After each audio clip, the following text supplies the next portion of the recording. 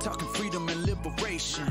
Worldwide, not just only for the nation. A radical guide, it's time to make changes. Bringing interviews and radical education. Yeah, yeah, a better future where we really Hello and welcome to a Radical podcast where we bring you thought provoking content that challenges the status quo and explores the front lines of social, political, and environmental change. I am your host, Jason Bayless. In this episode, we delve into the intricate world of direct action, exploring its strategic nature and pivotal role in driving societal discourse and instigating change. We demystify what it entails, how it is organized, and what it hopes to achieve, taking you through the comprehensive process behind these well planned strategies of resistance. We're also thrilled to announce the launch of our Radical audiobook series. You'll hear more about this series and how it complements a Radical podcast later in the episode. In our Radical and Anarchist News segment, we'll share a stirring report from Melbourne, Australia, where local hunt saboteurs rally support to oppose illegal hunting practices in the region. So please sit back and relax as we journey through these rich and critical discourses of direct action, education, and news from around the world. Let's go. This week in our Radical and Anarchist News segment, we bring you updates from the front lines of resistance. Today, we turn our attention to Melbourne, Australia, where a group known as Melbourne Hunt Sabs is making a call to action.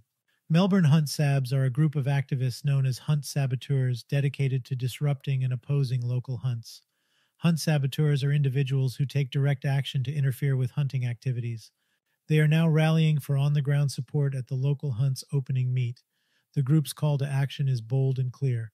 If you're in the area, they want you to join them and make your opposition to hunting heard. In a public statement, the Melbourne Hunt Saboteurs said, For the first time, we are asking for community and supporter presence at our first hunt sabotage without our founding Sab, Liam. This is going to be a big one. We are determined not to let their abuse of power mean they can get away with hunting illegally. Are you annoyed at the hunt? Want to stand with Melbourne Hunt Saboteurs? They invite anyone who shares their concerns about hunting and animal cruelty to join them at the Barwon Hunt Club's official welcoming hunt on July 8th. This isn't just a simple gathering, it's a public protest against the club's illegal hunting methods, which they fear will be taught to others, including children. The protest will take place on July 8th, starting at 10 a.m., outside the Mount Hesse estate in Urak, the property where the hunt is set to take place. The Melbourne Hunt saboteurs plan to mark their presence with flags, so look out for those if you decide to join them. They've asked attendees to bring snacks, chairs, and most importantly, themselves for what promises to be an important day of action. Make some noise with us, they say, and they intend to make their opposition to hunting loud and clear. To those able to join them, your support will be valuable in challenging the norms of hunting in the region and showing solidarity with a group dedicated to protecting animals from cruelty. In standing with Melbourne Hunt Saboteurs, you're helping to amplify their message and stand against the illegal and cruel practices associated with hunting.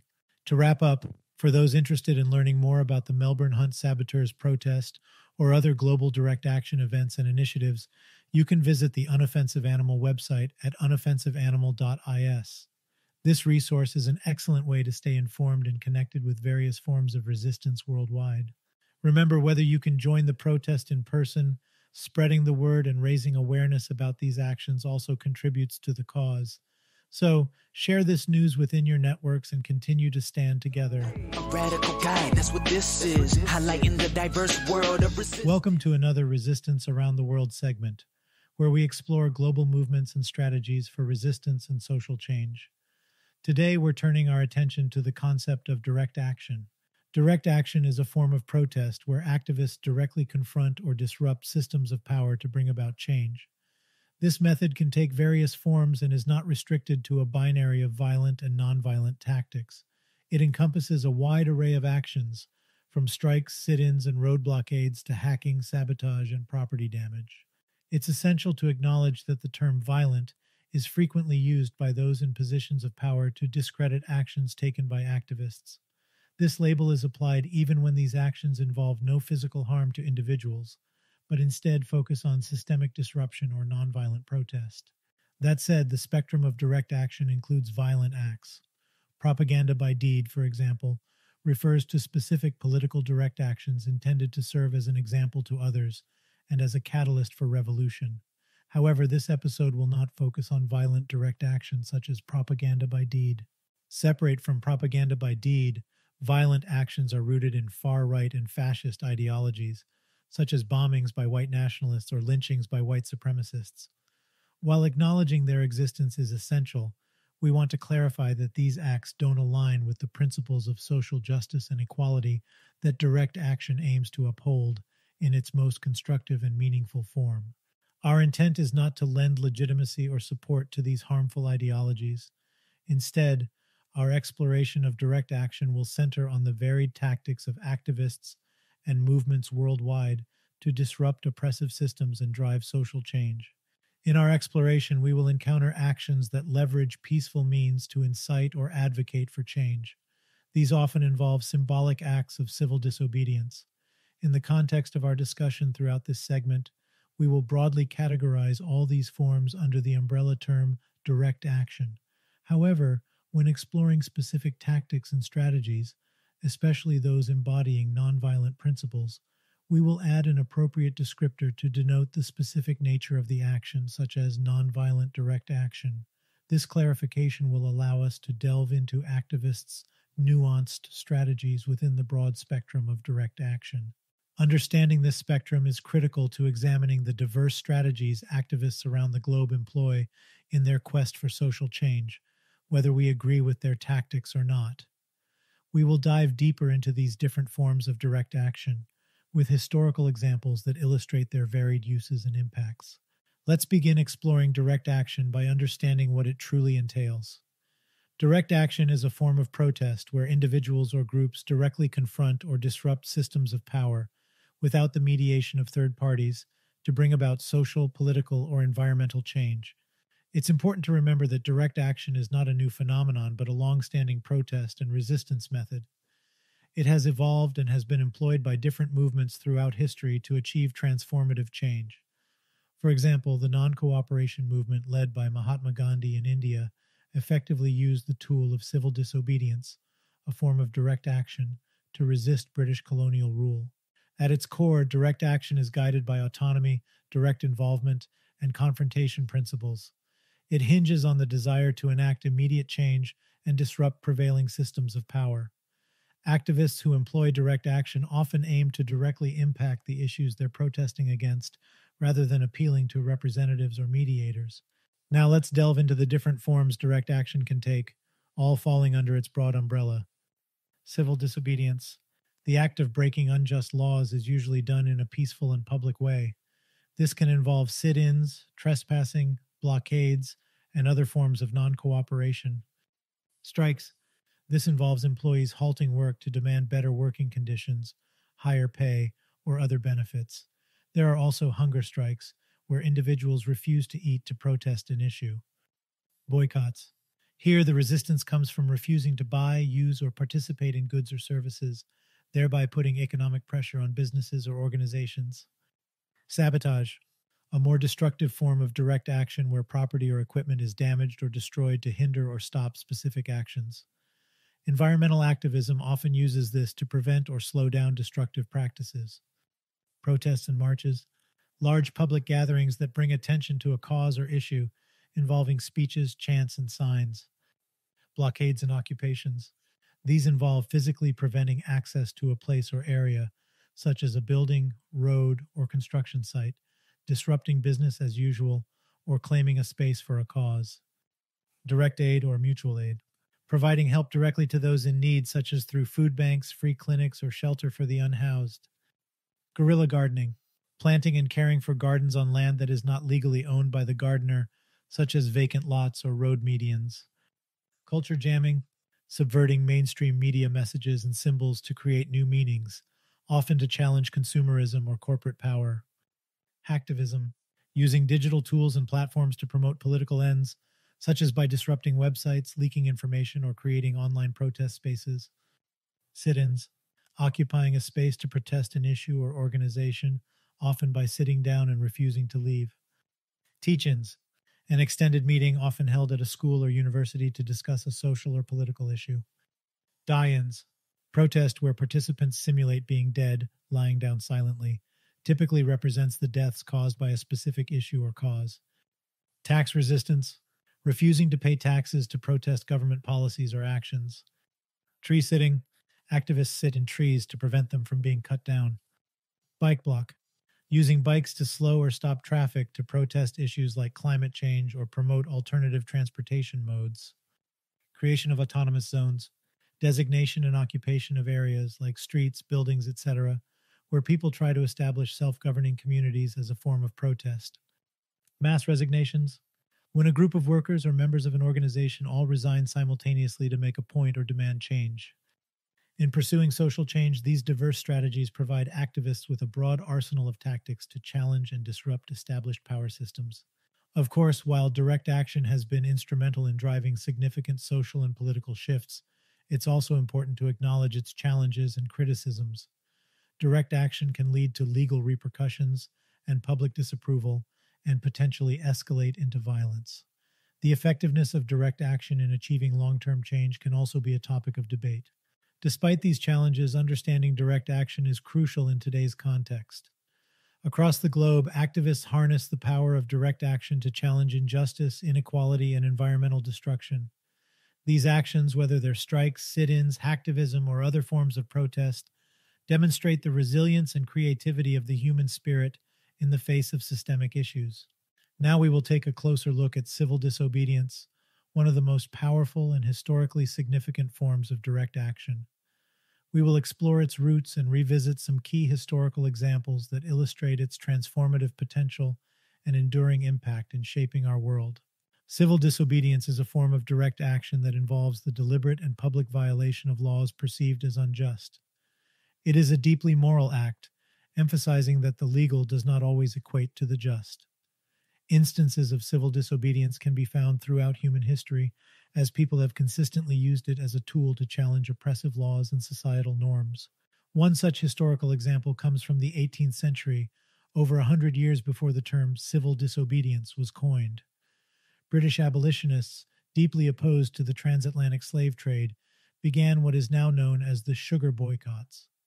These boycotts targeted the production of slave labor, specifically sugar from the West Indies, Many people refused to buy or consume the sugar, a direct disobedience of the economic laws and societal norms of the time.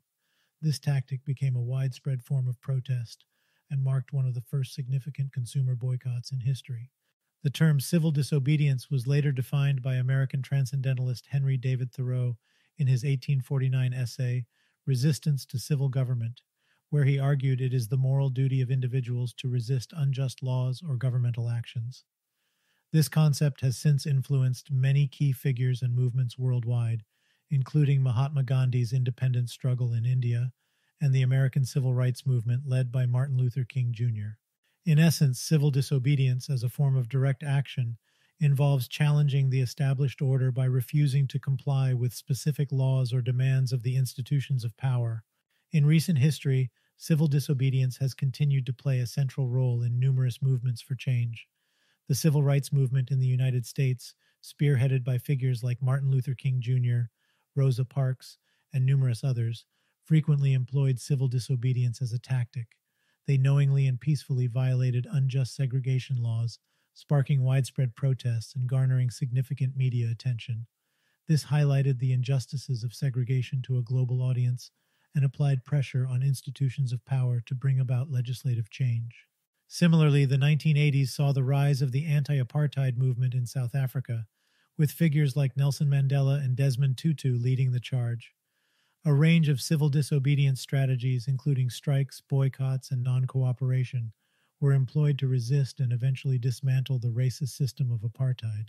Over the past decade, the Black Lives Matter BLM movement has emerged as a powerful force advocating for racial justice and police reform. Civil disobedience has been a key strategy, with protesters engaging in peaceful yet disruptive activities. Demonstrations have ranged from solitary acts, such as professional athletes taking a knee during the national anthem, to collective actions like mass protests and marches. The I Can't Breathe silent protests are one poignant example.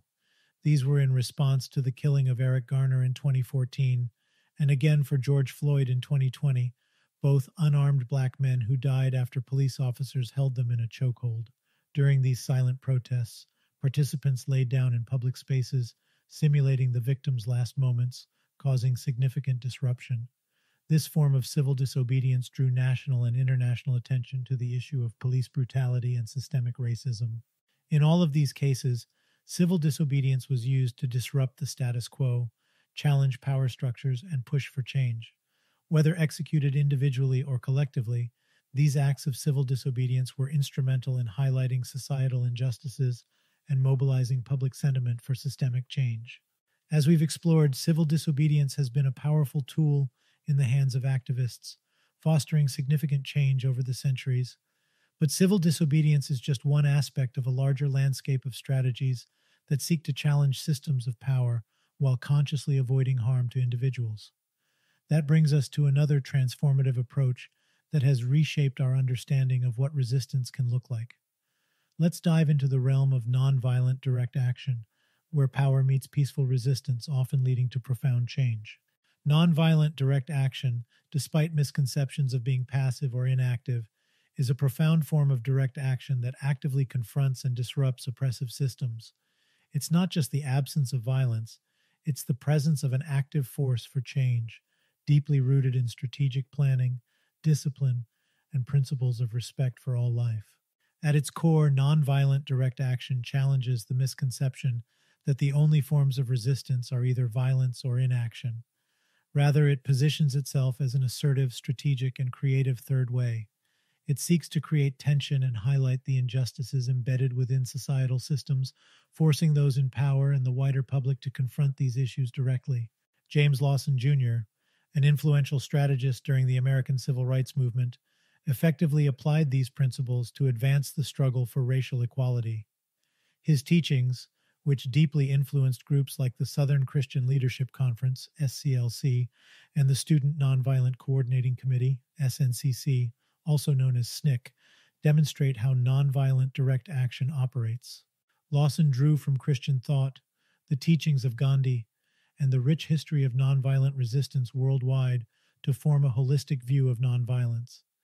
His principles extended beyond the individual and emphasized community preparation, education, strategic planning, and discipline. For Lawson and the activists he trained, nonviolence was an active form of resistance. The goal was not to defeat an adversary, but to win them over through moral force and the power of persuasion. The tactics of nonviolent direct action are as varied as the context in which they're applied. The sit ins in Nashville provide an example of this approach. Activists, trained in nonviolent resistance, strategically planned sit ins at segregated lunch counters. They displayed discipline in the face of verbal and physical abuse, demonstrating their resilience and commitment to their cause. These actions aim to disrupt the oppressive segregation system and directly confront the public and power holders with the inherent injustice. Other methods can include boycotts, strikes, demonstrations, and civil disobedience, among others. All of these actions share a common thread. They involve an active and strategic confrontation with oppressive systems, carried out in a manner that respects the dignity of all involved, including opponents. By avoiding physical violence, these actions draw strength from moral authority and the ability to engage wider public sympathy.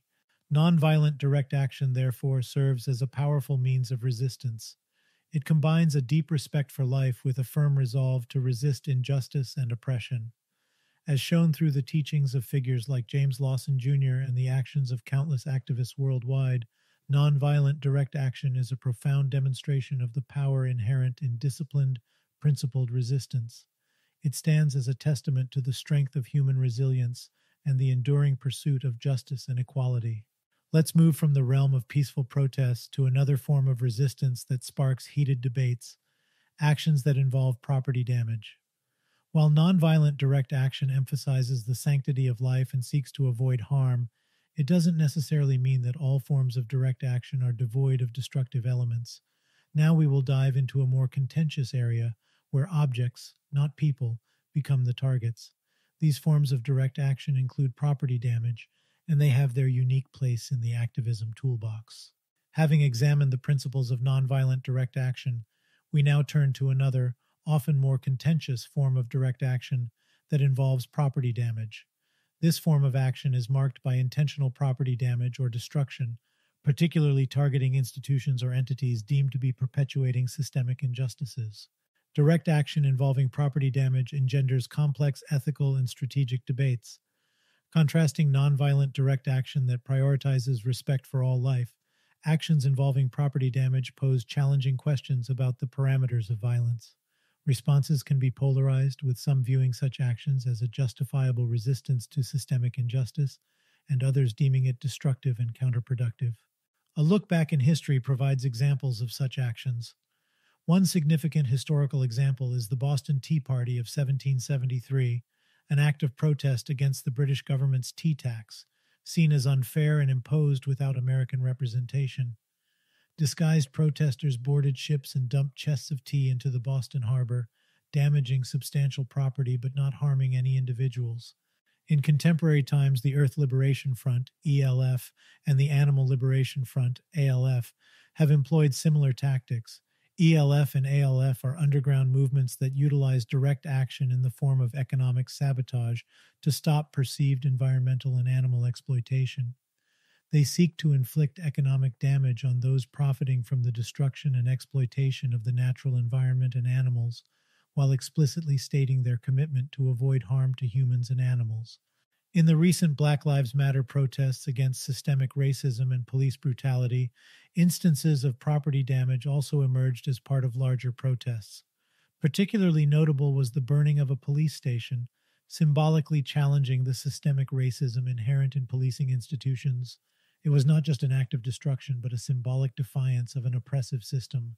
These examples provoke intense debate about the effectiveness and ethics of property damage as a form of direct action.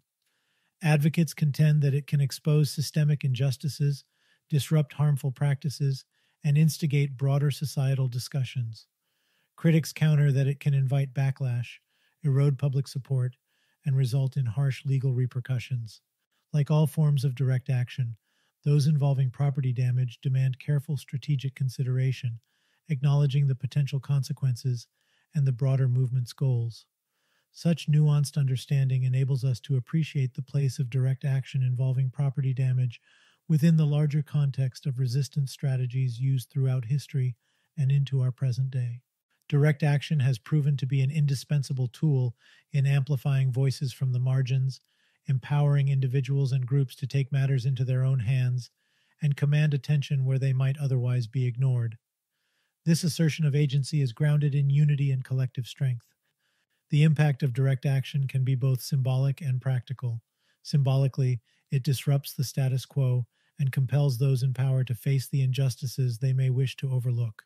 Practically, it can halt harmful activities make oppressive practices more costly or challenging, and even lead to significant policy changes. But the effectiveness of direct action is not universal. It's shaped by strategic application, context, and the broader movement's ability to use the momentum it creates. Despite its potential for backlash or even alienation of potential allies, history has shown us that direct action is often indispensable to successful movements it is the amplified voice for those demanding change, the disruptive force rattling oppressive structures, and the spark that ignites transformation. Let's dive into examples illustrating the potency and significance of direct action throughout history and various movements. Our journey begins with the civil rights movement in America. Here, direct action was crucial in confronting segregation and racial discrimination. The freedom rides, sit ins, and bus boycotts were bold, direct challenges to oppressive systems. As civil rights leader Rosa Parks once said, I believe we are here on the planet Earth to live, grow up, and do what we can to make this world a better place for all people to enjoy freedom. These actions successfully amplified the urgency of the civil rights movement, leading to landmark legislation like the Civil Rights Act and the Voting Rights Act. We then turn our attention to the world of environmental activism. Groups like Greenpeace, Sea Shepherd, and Earth Liberation Front have employed direct action to challenge environmental harm, stirring public awareness and pushing for policy changes. Environmental activist Edward Abbey once remarked Sentiment without action is the ruin of the soul. These environmental activists embody this sentiment, pairing their deep concern for the environment with tangible actions to protect it. Next, we delve into the fight for LGBTQ plus rights. Instances of direct action, such as the Stonewall riots and ACT-UP's response to the AIDS crisis, have been pivotal in shaping policies and fostering greater acceptance for the LGBTQ plus community. Marsha P. Johnson, a prominent figure in the Stonewall uprising, once said, No pride for some of us without liberation for all of us. These words capture the spirit of direct action within the LGBTQ plus rights movement. We then examine the role of direct action within the labor movement. It has been a powerful tool for workers fighting for better conditions and fair pay. As a labor organizer, Mother Jones said, Mourn the dead and fight like hell for the living. This encapsulates the spirit of direct action in the labor movement, where actions often arise out of difficult conditions and seek tangible improvements. Finally, we turn to the role of direct action in anti war protests. Tactics like draft card burning, sit ins, and mass demonstrations have been used to disrupt the machinery of war and bring attention to the horrors of conflict. As anti war activist Daniel Berrigan once said, one cannot level one's moral lance at every evil in the universe. There are just too many of them. But you can do something, and the difference between doing something and doing nothing is everything. This spirit of doing something has been at the heart of direct action in anti war movements. Through these stories, we hope to provide a comprehensive understanding of how direct action continues to shape the course of history, acting as a powerful tool for social change. As we move deeper into our exploration of direct action, it's essential to understand its symbolic nature. It's a form of communication that transcends the physical act itself, often challenging prevailing narratives and social norms pushing the boundaries of what's considered acceptable or legal. In its diverse forms, direct action is a medium through which marginalized communities, activists, and movements articulate their resistance, demands, and visions for a more just society. It's a way for them to tell their stories on their terms, disrupting the monopoly of dominant voices. For instance, consider the iconic image of a protester placing a flower in a soldier's rifle during an anti war demonstration. That singular act carries a potent symbolic message, a peaceful challenge to the narrative of violence, and a visual representation of the struggle for peace. In the same vein, when environmental activists scale industrial chimneys to unveil banners demanding climate action, their act is about more than just the potential to halt production momentarily. It's about disrupting business as usual, visually representing the dire urgency of the climate crisis and challenging the narrative prioritizing profit over the planet. The sit ins during the civil rights movement were not just about occupying physical space, they were a defiant declaration against racial segregation, a public display of resilience, and a challenge to the narrative of racial inferiority.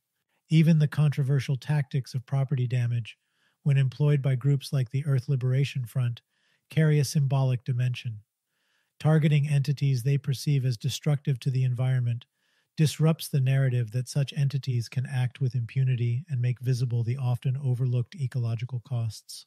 Through these actions, activists are rewriting the rules, calling out systemic injustices, and challenging society to question and change its ways. They utilize the symbolic power of direct action to amplify their voices, raise public consciousness, and compel a response from those in power. However, this approach is not without risks. By challenging the status quo, activists can face backlash from those who uphold it. Moreover, not all observers interpret these symbols in the intended way. Even so, the ability to challenge dominant narratives in such a visible and impactful manner is one of the potent aspects of direct action. In the end, direct action is a compelling mix of the concrete and the symbolic, the physical and the narrative.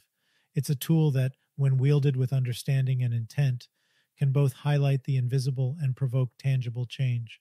Direct action is not a spontaneous or random act. It's a meticulously planned and executed strategy aimed at exacting social, political, or environmental change. The development of direct action is a thoughtful process that requires a high degree of organization, a clear understanding of the cause, and a strategy for mobilizing and protecting participants. Now let's delve deeper into these steps. The first phase usually involves identifying a target or issue to address. This can range from specific laws or policies to broader societal norms. Organizers also identify points of intervention, places in a system where a targeted action can interrupt the system's functioning, and create opportunities for change. These points of intervention vary depending on the system in question, but to help you understand these points, I will define each point of intervention. Points of production the places where a system or process produces something, such as a factory. Actions here often involve strikes, work slowdowns, or factory takeovers. Points of destruction the places where a system or process causes harm or injustice, such as a strip mine or a landfill. Actions can halt the act of destruction and draw attention to the issue. Points of consumption the locations where a product or service linked to injustice is used or purchased, such as a retail store. Actions here often involve consumer boycotts or storefront demonstrations. Points of decision the locations where the power to act on a campaign's demands rests, such as a corporate boardroom or a state capitol. Actions here apply pressure directly on the decision makers. Points of assumption these are the ideological underpinnings of a system, often unexamined, that maintain the status quo. Actions here seek to expose and challenge these assumptions, creating shifts in belief systems. Points of opportunity these are calendar or event based opportunities that can be leveraged to draw attention to a cause, such as a national holiday or a high profile visit. Identifying these points of intervention helps in the strategic planning of direct actions, allowing organizers to target the system effectively and maximize the impact of their actions. Once a target and the points of intervention are identified, organizers work on developing an action plan.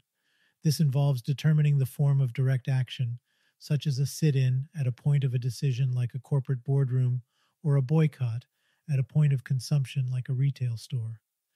The choice of tactics is often tailored to the specific context of the struggle. It can be influenced by factors such as the movement's resources, the legal environment, and the potential risks to participants. Mobilizing participants is a crucial part of this planning process.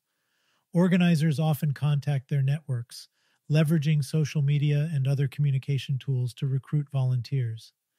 They may also provide training sessions to prepare participants for the action, teaching them nonviolent resistance techniques, briefing them on legal rights, and preparing them for potential encounters with law enforcement or counter protesters.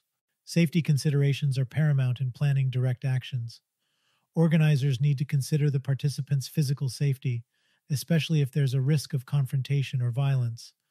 This can involve arranging for legal observers to be present, providing protective gear, or planning for medical aid if needed. The legal implications of the planned actions are also a crucial consideration. Organizers typically familiarize themselves with these implications, allowing them to inform participants of potential consequences, plan for legal support, and strategize on leveraging any legal fallout in service of their cause. The planning and execution of direct actions illustrate the commitment and dedication of activists to their causes, who are willing to risk personal safety and legal consequences for the betterment of society. It underscores the strategic and thoughtful nature of direct action as a tool for social change. As we wrap up, we explored how direct action serves as a critical tool for those resisting oppressive systems and fighting for change worldwide. Whether it's standing in solidarity on the front lines of a protest, engaging in a sit in at a corporate headquarters, or challenging the status quo through a well timed intervention, the strategies we've explored in this segment illustrate the dynamic and strategic nature of direct action. Understanding the ins and outs of direct action, from its conceptual basis to its practical execution, helps us recognize the immense dedication, courage, and resourcefulness of the people and movements behind these actions. Moreover, it provides insight into the complexities and realities of the grassroots struggle for change. From points of production to points of assumption, we see a concerted effort to disrupt, to challenge, and to transform. But the story doesn't end here. Each direct action is a part of a broader narrative, a larger fight against systemic issues, and a step towards a more just and equitable world. As we continue to witness resistance across the globe, let us remember the power of direct action and its impact on shaping our world.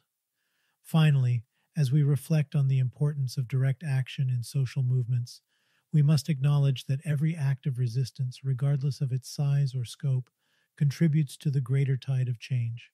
We hope this deep dive into the world of direct action has equipped you with a better understanding of its strategic nature and its pivotal role in shaping societal discourse and instigating change.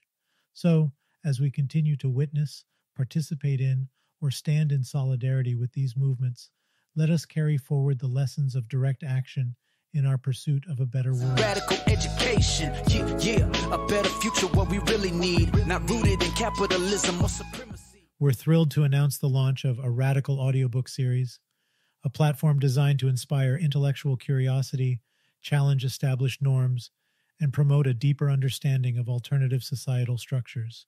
Our inaugural title in a radical audiobook series is Mutual Aid A Factor of Evolution by the influential anarchist Peter Kropotkin. His insightful work offers a deep dive into the ideas of cooperation and mutual aid as natural and necessary components of evolution, both biologically and socially. We believe that these thought provoking works, carefully curated, can act as a catalyst for change, prompting you to question, explore, and seek out new perspectives. In addition, we'll be using a radical podcast to supplement these audiobooks offering an in depth exploration and analysis of the concepts presented. The podcast will provide a platform for further discussion, critical thinking, and engagement with the ideas and themes brought up in the audiobooks. To learn more about the series and subscribe, please visit us at aradicalguide.com. While you're there, we also invite you to contribute to our growing community. You can add your favorite radical location to our site by clicking the Add a Listing button. Your input helps us build a more comprehensive guide, expanding our reach and fostering a global network of radical thought. Supporting a radical guide doesn't just end there. By contributing financially, you help keep this project running, ensuring that we can continue to bring you enlightening content, stimulating discussions, and a platform for radical ideas. Whether through financial contributions, sharing our content, or engaging with our community, Every bit of support helps us bring these important ideas to the fore. Let's go. Don't forget to check out our radical audiobook inaugural title, Mutual Aid A Factor of Evolution, by Peter Kropotkin. Remember, these curated works are not just about passive listening.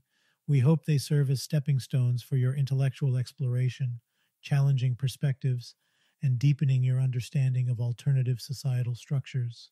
In our news segment, we highlighted the call to action from Melbourne Hunt Saboteurs. If you want more information or want to stay updated on various forms of resistance happening worldwide, make sure to visit the Unoffensive Animal website at unoffensiveanimal.is. Remember, everyone has a part to play in pursuing a more just and equitable world. Whether that's joining a direct action, reading a radical book, or supporting initiatives like a radical guide, Every effort contributes to the broader struggle for change. Before we sign off, if you know of a radical location you'd like to share with our community, visit a Radical Guides website and click the Add a Listing button. Your contributions help us grow our collective knowledge and shared histories. Finally, if you found value in today's episode, we would love your continued support. You can subscribe to our YouTube page, sign up for our newsletter, and follow us on your preferred platform for podcasts and audiobooks. And if you're in a position to do so, consider contributing financially to a radical guide. Your contributions through engagement and financial support help keep this project running and accessible to all. Thank you for joining us on this journey today, and we look forward to having you with us on the next episode of a Radical Podcast. Until then, stay radical. Yeah, talking freedom and liberation.